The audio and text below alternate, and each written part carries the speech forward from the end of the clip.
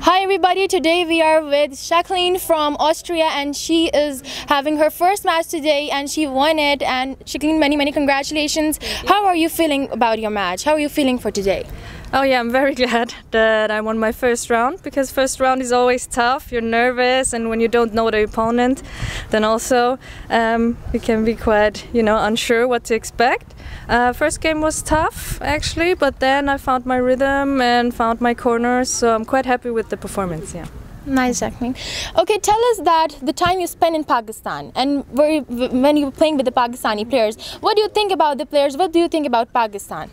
Um, I've only played one so far, um, but um, they're very like passionate. I can see it on court. They fight until the end and um, never give up. So and like very talented with the rackets. So they have some crazy shots sometimes. So yeah, but uh, today was very enjoyable, very fair.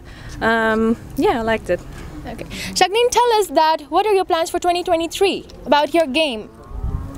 Um, I'm trying to play more professionally actually because I have to work um, also to earn a living. Um, but I can compare the two um, quite well. Um, but yeah just get, play more tournaments get more time on court and just uh, see what what happens. No results just trying to be better every day Nice. Jacqueline, tell us that except for squash, what do you think is the best thing about Pakistan? Oh, the food. and the food uh, and the people are very warm and welcoming, so it's been very pleasant so far.